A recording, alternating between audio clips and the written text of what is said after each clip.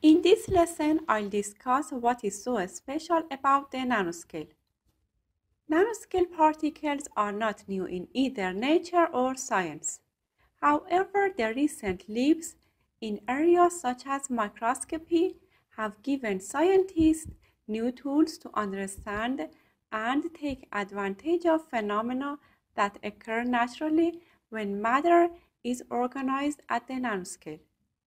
In essence, these phenomena are based on quantum effects and other simple physical effects, such as expanded surface area.